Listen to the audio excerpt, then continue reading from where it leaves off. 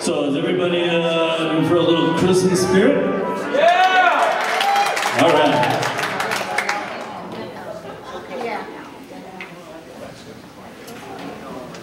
I said now,